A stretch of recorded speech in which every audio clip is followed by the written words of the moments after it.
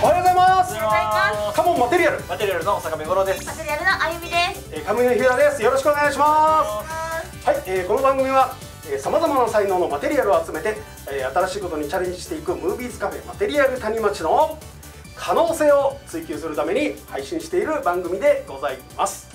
はいということで、えー、もう今日はですね、はいもう月末ですねほとんどね。ね。はい。はい23 7月23日です。はい。はい、7月23日はどんな日なんでしょうか？はい。今日は土曜の牛の日です。おーはい来た来た来た。土曜の牛の日土曜の牛はい。はいね。はい。うなぎを食べて夏バテを防止する習慣がある日となされております。ねえ。うなぎ食べましょう。うなぎ好きですか？いやうなぎ大好きですよね。大好き。もう大好きもうちっちゃい時から。あれなんかちっちゃい子ってあのうなぎ大好きですよね。うなぎのタレがタレがね。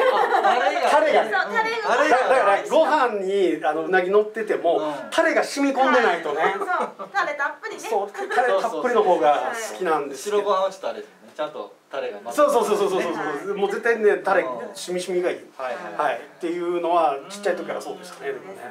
まあでもいつの間にかねうなぎもねあの絶滅危惧種になってたりとかしてあーですね。えーもうめちゃめちゃ高くなってるからもう。天然物は。天然物なんてあんたみたいな。話 あった。本当に。あの僕の知り合いが勤めてるうなぎ屋さんとかあるんですけど、はいあの普通の波の波の重箱が、えー俺が食った当時で3500円とかやったんですけどお今多分5000円ぐらいいってますからね。うな重が。やばいっすよもう本当に。はい。中国産とかでちょっと安くなるですよね。でも中国産も結局なんだかんだ言やっぱり減ってきてるからうんあのまあだんだん、ね、値段がねそんなに安くはならない今度また輸入するのにね燃燃料代がかさんでくる。そうですね。余計またかかってくるみたいな話になってるんですけど土用の牛なんですよ。はい。土用の牛は実はね誰が作ったかっていう話なんですね。これ江戸時代からなんです。江戸から？そう江戸時代より前にははい。なかったんです。この土用の牛の日にあのうなぎを食べるなんて風習が一切なかったんです。これ実は作り出した人がいる。それがあのかのエレキテルで有名な平賀源内が実は作り出したんですあの人が。っていうのがねあのたまたまそのうなぎ屋さんっていうかうなぎをね行商してる人が「いやちょっと夏場はうなぎが売れないのよ」と。うん「こんな脂乗ってて」ね、そう暑いしっていうのもみんなさっぱりしたの食べたいからうなぎなんか食うかみたいな感じでなかなか江戸っ子食ってくれない。美味しいのに。そう美味しいのででじゃあどうしたらいいかっていう話を実はあの平賀源内に相談したんですよね。で平賀が「あオッケーオッケーオッケー分かったことで俺がじゃああのちょちょちょっとコピー書いてあるわ」って。言ってで土用の牛に、えーそのうなぎをうなぎのような需要のあるものを食べることで夏バテを乗り切ろうぜっていう文章を瓦版に書いたわけですよ。はい。でそれを巻きまくって、まあ、いつの間にかこの土用の牛にはうなぎよねっていう話になっちゃってみんなうなぎを土用の牛に食べるのが当たり前なの。でもそれは実は平賀源内が考えたこと。すほうすごいっすよ本当。売れ売れてなかったからどうしようかいうそうそうそうそう。そうそうそうそうそうそう今じゃもうだってねそうそうと取れないあれと一緒ですよあのだから恵方巻きと一緒あはいはいあはい恵方巻きもあのあの大阪の海苔問屋さんがどうやって売ろうかっていうのであの巻物一本食べるっていう風習を恵方巻きとしてあの作って関西でなんとなく流行ってたやつがいつの間にやら全国になってるそうです面白いですねあの食の。そうなんです、そうですね。まあ、いろんなね、えーきっかけがあるんですけど。はい。はい。はい。そしてもう一つ。はい。日本最高気温の日です。ほう。はい、1933年の7月25日にフェーン現象によってはい。山形県山形市で、はい。えー最高の40.8度。当時48当時ね最高のうん。40.8度、はい。で、えーその記録はね結構長いこと続いてたんですが、はい。2007年平成はい。19年の8月16日にう。ん埼玉県熊谷市と岐阜県多治見市で40.9度を観測しました。おー。74年ぶりに、えー記録が更新された日となっております、74年ぶり？そう。すごいな。でそしてその後2013年の8月12日。まだ7月23日来てんからね。まだ7月23日じゃないからね、うん。はい。2013年のはい。8月12日に、はい高知県四万十市で四万十市はいはいはい。41度、を観測しました、おはい。そして来るのか2018年はい。の7月23日にえー埼玉県熊谷市でお熊谷。41.1度おを観測し、うん。さらに2020年、うん令和2年にの8月17日に、えー静岡県浜松市で同じく41度41.1度を観測してそれ以来破られていないので浜松か。41.1度が最初に記録をした7月23日おが記念日となるほど。おりなるほますどはい、ちなみにですね、はい。世界の最高気温は1921年のはい。7月8日にイラクのバスラ、ああバスラはい。はい、58.8度を観測していますこれが最高だこれでもどうなんやね。イラクでも百葉箱で測ってんのかあ同じそうなんよ方式でね。測ってるのかな、なねだから日本と比較していいのかっていう話ありますよねああのだから日本の場合ね百葉箱って言ってねあのこの白い白いね。木のねうん。あのなんかあのすっと風通しのいいやつにはいあのあの1.5メートルの高さやったっはいけにあのそのあれがあるように温度計があるようにはい設定されてる中で測ったのが41.1度でしょ。はい41点。ねだからまあ実際問題あんなその日差しの直射日光じゃないっていうのが前提やからはい。直射日光当たってるところでもう多分60度ぐらいいってるみたいな。ますよね。ね。ね。だからこの間もあの道走ってて、はい。あのいやもう暑いしさでチャリンコこいでるし運動やから、はい。これもうマスクいいよねと思ってマスクこう外してこの状態ではい。あの走ってたわけですよ。うん。で走ってたらあれ？なんやろう？なんか喉はカラカラになるし、なんか鼻もさ乾いてくるみたいな、はい。そうそうそうそう。熱風がすごいから、うん。でこれはあかんわって逆にマスクしちゃったってああ湿気がこうそうそうそうそうそうそうそうそうそう。だからこうこう防がなあかんから、うん。熱風から。熱風を。そう。熱熱風風防ぐないと口が乾く鼻が乾く全然蒸発してる。いやいやいやいやいや本当に本当に本当に。すごい。まあでもねドライヤー当てるようなもんそうそうそう本当そにそうですうですよね。だからこれはやばいなって言ってうんマスクしたぐらいやっぱ暑いですからね外も本当に、うん、はいはい。まああの中東の人らもね。うん。だからあのこのタターバンじゃないけどこうん。うこうねこう長いやつを着てでこう口を覆そううってですよね。い。うのが当たり前じゃないですか、暑いんちゃうかなって思う普通けど普通暑いのになん。であんな長袖着てんねんと思うでしょ暑さ対策。暑さ対策なんですよ。うん。逆にね。そうなんですよ、さらけ出してる方が暑い。そうそうそうそう。あのアムロレイのねランバラルトだった時はうん。あのその砂漠でしたからね。うん。あのこうこういうの着てあのちゃんとやってましたよね。着てましたね。長いの着てましたから。はい。あれちっちゃい時意味分からへんから最近やっと分かっ 暑い 暑いって 長袖着なあかん。はいはい。はい。はい。はい。はい。で以上。以上ですね。はい。はい。はい。はい。ありがとうございました。はい、えー、では、えー、このプレゼンありかなしかなん。ですけど、はい。まあ今週も、えー、予告通りですね、えー、映画のはい。ご紹介というか映画の監督のインタビューをしてきましたので、はい。えーそれをご覧にいいただこうと思うんですけども、思うんですけども、えー、とこれがですね、えーと「宇宙人の画家」っていうタイトルの映画はい、あの画家ってあの絵絵絵描きさんの画家ね。はいで宇宙人の画家っていうタイトルの映画なんですよ。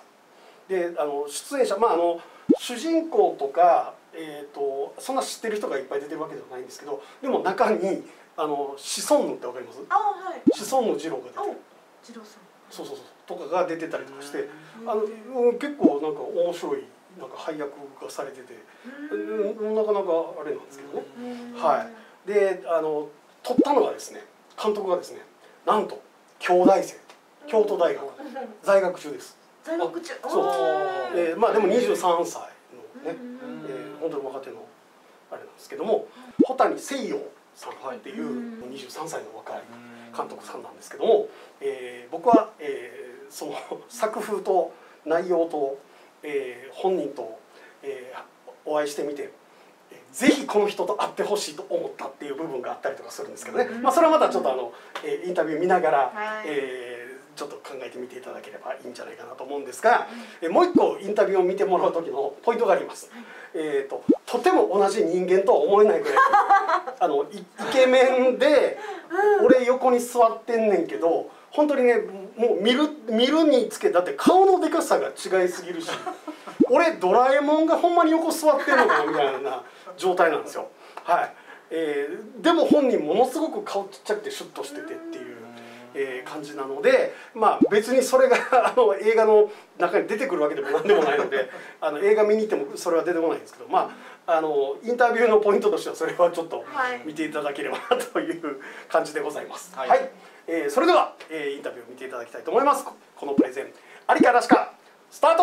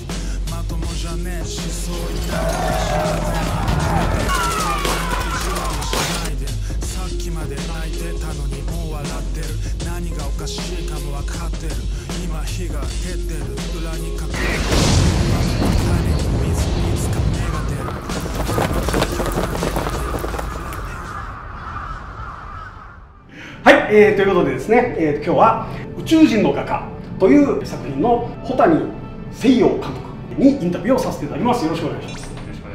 まずこの作品の概要というか、えーどういう作品なのかというのを監督の方からちょっとご説明いただいていいですか？お願いします。とこちらの「宇宙人の画家」っていう作品はあの金沢映画祭っていう、まあ、石川県金沢市でやってる映画祭があって、はい。まあ、そこはあの毎年あの期待の新人監督っていう、あのコンペティションをはい。やってまして、で僕があの大学生、まあ、今も大学生なんですけど、はい。まあ、撮った自主映画を応募したらそこでグランプリをいただきまして、はい。その翌年にその映画祭のスカラシップではい。撮ることができた、えー作品になります。はい、ですね。で、えー、と内容的にはどんな感じの内容になってるんでしょうか？この映画はあのポスター見てもこうモノクロとはい。カラーとはい。こう入り乱れるそうですねそうですね。はいなってるんですけど、まあ、本編は本当こんな感じで、はい。まあ、最初はそのカラーパートっていうことで始まって、裏日本警視っていう、まあ、架空の街を舞台にしたお話なんですけど、金沢です、はい、金沢市です、はい。まあ、金沢市だけじゃなくてねいろんなところで撮ってらっしゃるんで。まあそうですね。石川県内。ね、はいはい。いろいろ撮って加賀市はい。加賀市ですね。石川県あの加賀大観音っていうはい。全長73メートルのはい。大きい観音さん、くちゃでかいですね。まあ、そこがまあある意味なんか街のシンボルになってるような架空の都市、はい。でそこはまあなんていうか虚無だるまっていう、うん。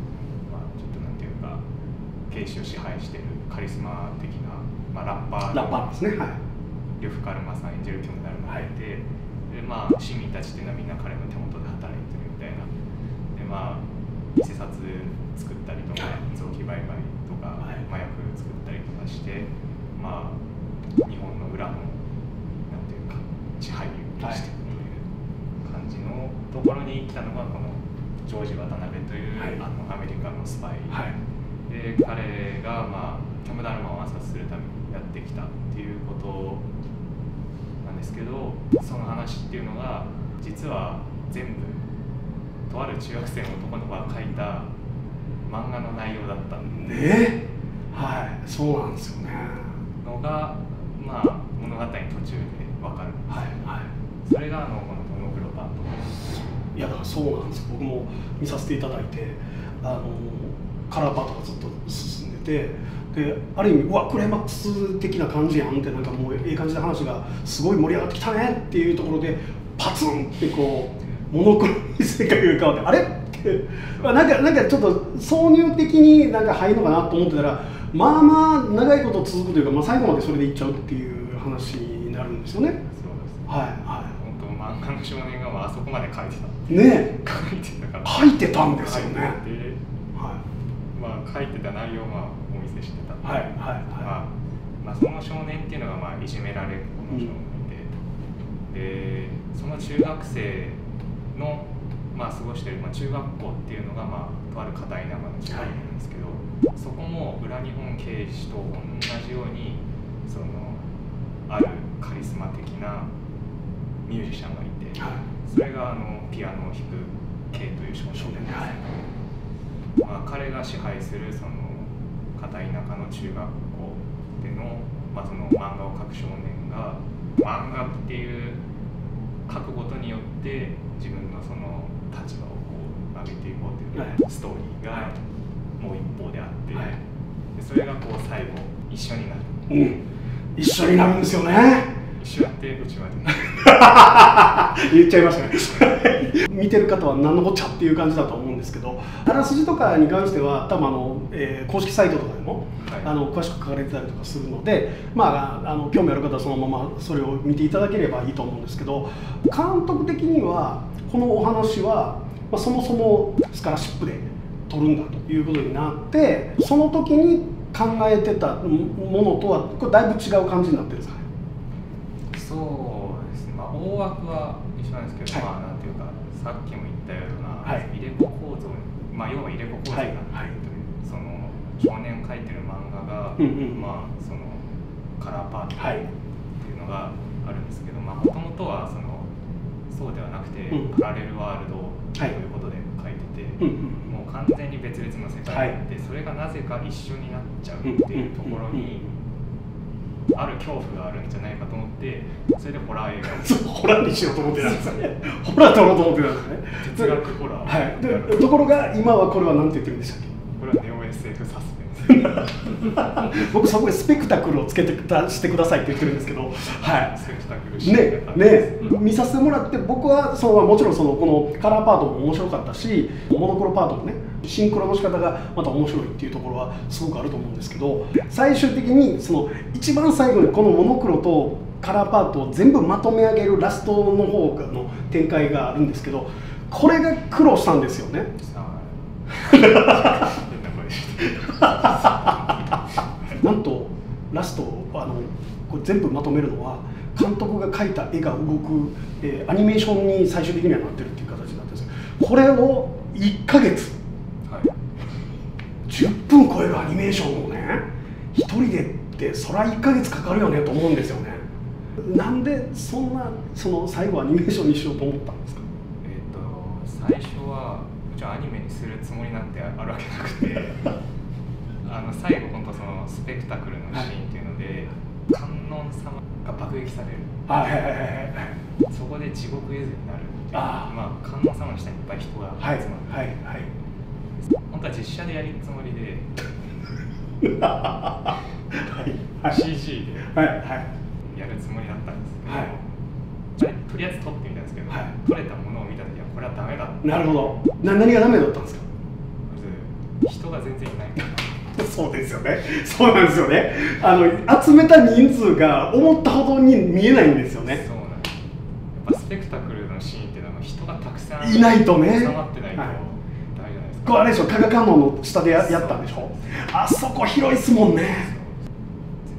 全然ダメだからもうアニメ描くしかないっていうなんでしょうね。僕あの僕が最近出会った若手監督の方ってなぜかその絵とアニメーションで最後スペクタクルシーンを作ろうとする人があ。のお多いというか約もうもうあと約1名いるんですよ。ね大久保健也君っていうやつがいるんですけど名前言っちゃいましたけど、ね、今度一回セッティングしてみようと思います。それちょっと置いといて。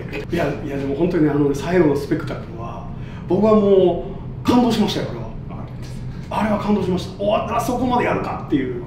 はい。だから僕はあの正直言ってその、まあ、もちろんこのカラーパートとねモノクロパートの、えーそのお話もそうなんですけどこれがどうスペクタクルにつながっていくのかっていうところを見ながら思いながらこの映画を最後まで付き合うとあのスペクタクルシーンで「あー」って言えるからそこを狙っていってほしいなって僕は。そうですね、はいそういう映画ですね。ねね。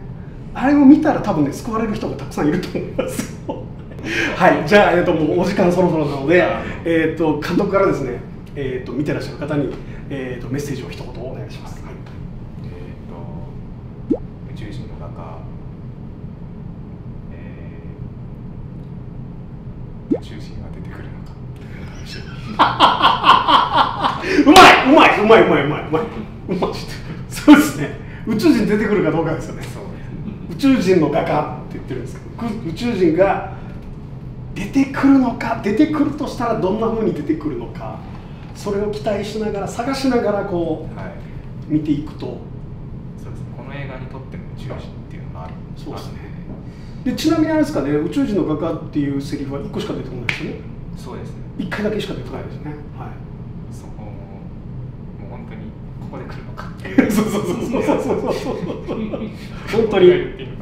いやここで来るのかですねあれはね。う。んなのであのあでもまあえ匂わせてんのはカラーパートでもあるのか？ああはい。ありますね。ありますね。ああのおじいちゃんが。のはい、ある青年が。はいあそうそうそう。あの青年ね。はい。なのでまあその、えーこのタイトルがどう効いてくるのかっていうところをね探しながら、えー最後のスペクタクルを楽しみに見ていただければはい、えーということで、えー今日はですね、えー映画「宇宙人の画家の」えー、保谷誠陽監督、えーのインタビューでした。どうもありがとうございました。はい、はい、ということで終わりました。ね別の生き物やったでしょ。イケメンやった。え前に行ってたんですよいねやいやいやいやいや並んでた並んでた。え並んでた。並んでた。横並びですここ並んでた。ではないそうそうそうそう。あの遠遠近法ではなかっあじゃないんです並んでた。んですよおーねすごい。すごいやろ。すごいやろ。俺ちょっと本当びっくりした。あれおかしいなって。なんでこんなことなってんねやろ。ってなった。多分並んでたったら全然本当に別物になってんねやろなみたいな。ねね。もう俺こえー、って俺の半分くらいしか顔ないやん。顔の大きさ全然いやいやいやいやすごいなって。いうまあすごいんですけど。でも監督としてもであの作品としてはすごい作品を作らはったんですよね。はい。であの要はね後半のまああの一番のクライマックスのところがあの彼も言ってましたけど実写で撮ったらしょぼかったからうーん。絵にするしかなかったと思って絵にできたからよかったよね。ですよね。そうね。うんうん。でもまたその発想がもう誰かに似てるなとか思って。はい。だから私たちも思いましたね。あ いやいやいや。ー浮かびましたもん顔がポンって。もうだからもうちょっと。とトマトもうちょっと引き合わせてみたいなとちょっと思ってます。面白そう。まあそ それはまあまたさておきなんですが、はい、はい。まああの宇宙人の画家ということで、うん。はい、この宇宙人の画家っていうネーミングがね、う一体どうなってんねやろうっていう、うん。なんでで宇宙人の画家っていうなんか画家が出てくるのかはい。出てこないのか、その辺がね、えーまたこの物語のキーワードになってたりもするので。まあ、ぜひその辺を思いながら見ていただくと面白いし、このカラーパートとモノクロパートがどうリンクしていてそれが最後にどうつながっていくのかっていうところがね見えてくるとまたこれが面白いというか、はい面白いことになるので、はい。えーぜひ、えー映画館でね。はい。スペクタクルですから。スペクタうん。そうそう。ネオ SF サスペンススペクタクルって俺つけてくれ監督はホラーを撮るつもりやったらしいですねですねはい。撮るつもりやったのがネオ SF サスペンススペクタクルになってますんで、えーぜひえーこれを映画館で見ていただきたいなと思うんですがはい、えー今日じゃあ、えーおさめさんの方で。はい。はい、えー、丸かバスかいきたいと思います。はいこのプレゼンありかなしか判定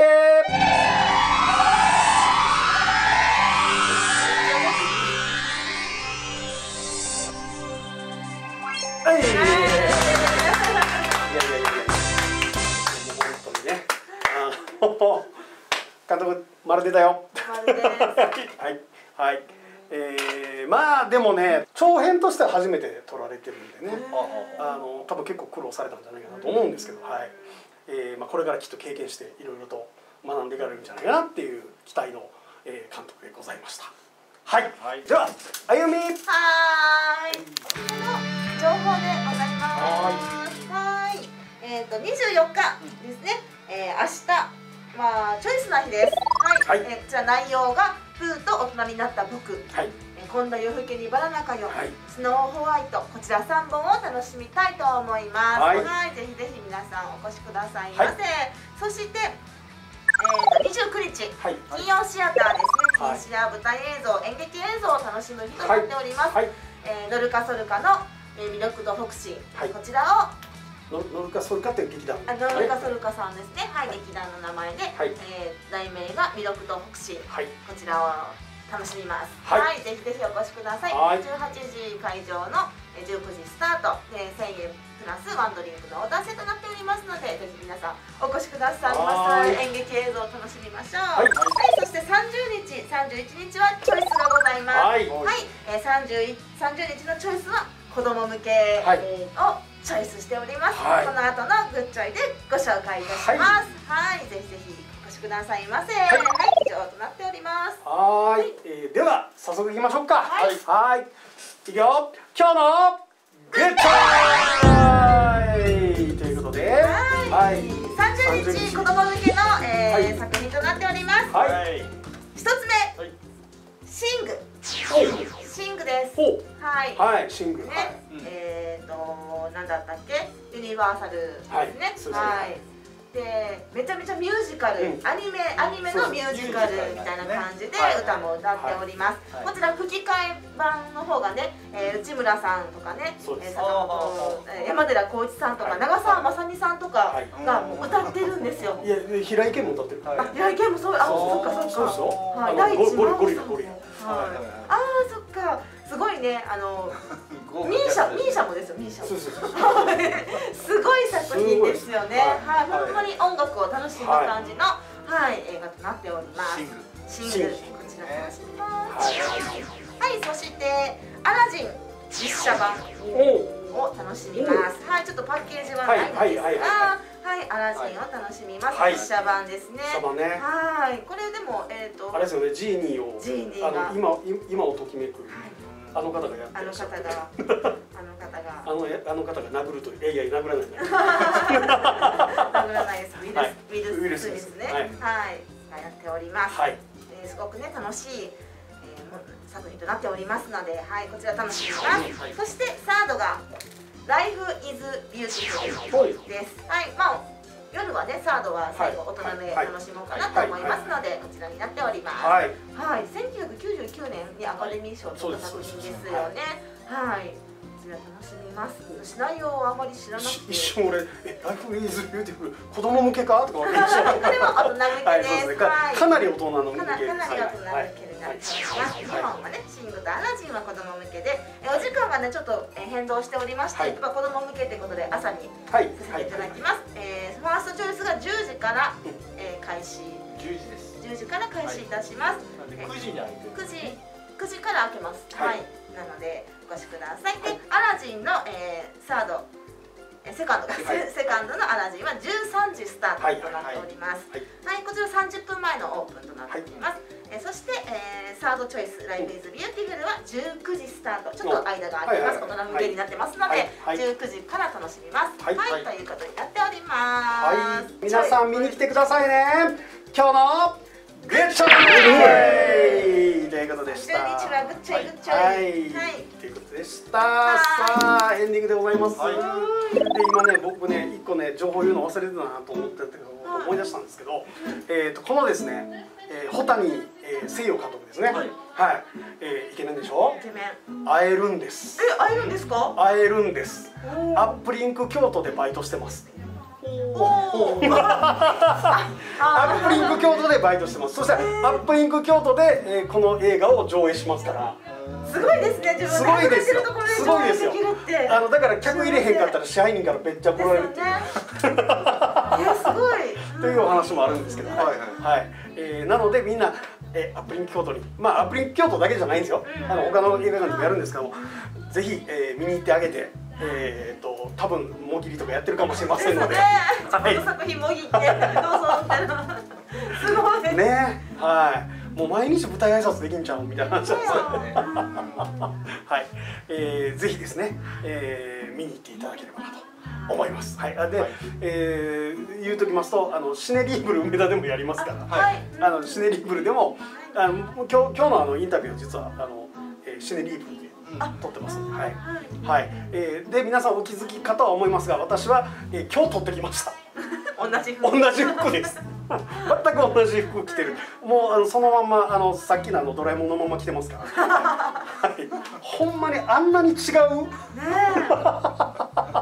面白いぐらいちゃいますいや俺絶対なんかぬいぐるみの中入ってるよねぐらいの感じだったよね。なんなんこの差って。本当に思いましたけどはい、えー頑張ります、えー何頑張るのか分からんけど。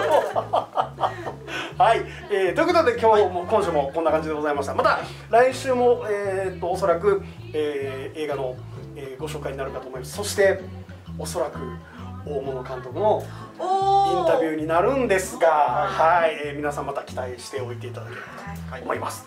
はい、ということで、えー今週これで終わりたいと思います。どうもありがとうございました。はい